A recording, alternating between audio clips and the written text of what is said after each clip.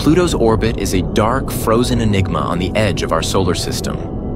Unlike the orderly paths of the major planets, Pluto's orbit is steeply tilted, 17 degrees relative to the ecliptic, and about 27 degrees when compared to Neptune's orbital plane. It cuts across Neptune's path, a cosmic near miss that, by all appearances, should eventually lead to disaster.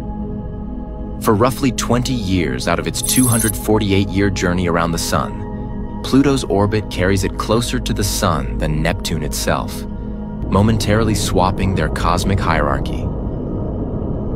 And yet, in all of the solar system's vast ancient history, they have never collided, and they never will.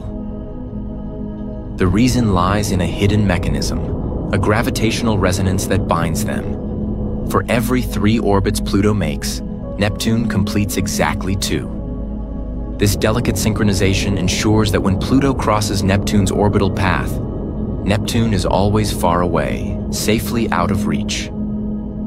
Their relationship is a masterpiece of orbital mechanics, a cosmic agreement older than humanity itself.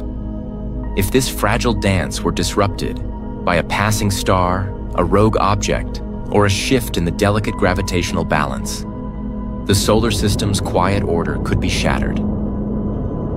But for now, at the edge of the void, Pluto and Neptune remain locked in an eternal chase.